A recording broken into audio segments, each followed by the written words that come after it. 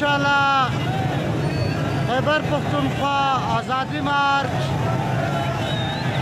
इस्लामाबाद में दाखिल हो चुका है हवाम की समंदर आपका सामने है